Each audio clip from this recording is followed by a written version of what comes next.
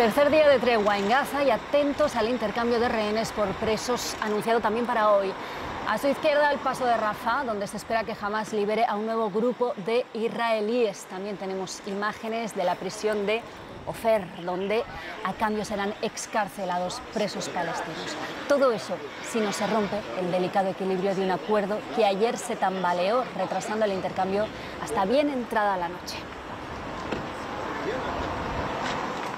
Jamás sigue acusando a Israel de incumplir el pacto sobre la ayuda humanitaria. Hoy es Israel el que asegura que jamás no respeta el acuerdo de liberar a los menores junto a sus madres, pero de momento sigue adelante el tercer intercambio previsto para esta tarde uso Azuiría. Sí, jamás advertía esta mañana que no habría intercambio de rehenes si no se liberaba a los presos con condenas más antiguas.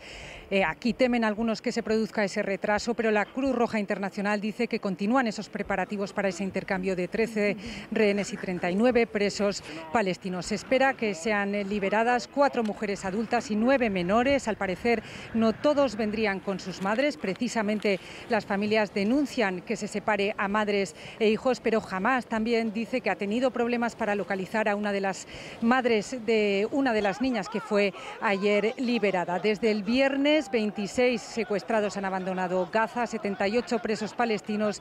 La cárcel está tregua, eh, este alto al fuego de cuatro días se podría extender hasta 10 días y podrían liberarse 100 rehenes y 78 presos palestinos y 300, perdón, presos palestinos. Los milicianos de Hamas se despiden de Sharon y Noam. Es el vídeo de propaganda que han difundido los islamistas, en el que se ve cómo liberan poco a poco a 13 rehenes israelíes, 8 menores y 5 mujeres. También han sido liberados cuatro rehenes tailandeses. La Cruz Roja Internacional los ha llevado a Egipto por el paso de Rafah. Luego han entrado a Israel por otro paso, Kerem Shalom.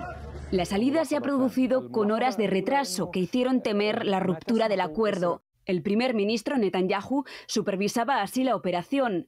Todo el país en vilo, esperando este momento.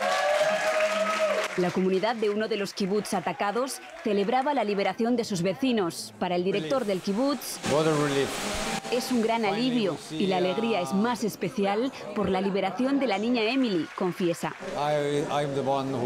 Yo le dije a su padre erróneamente que la niña había muerto en el ataque. Dice, hoy ese padre ha podido abrazar a su hija. Emily, que tiene doble nacionalidad, israelí e irlandesa, ha sido protagonista por otro motivo. El primer ministro irlandés se ha referido a ella como una niña inocente que se perdió. Ahora ha sido encontrada y devuelta. El ministro de Exteriores israelí le ha contestado, Emily no estaba perdida, fue secuestrada por una organización terrorista.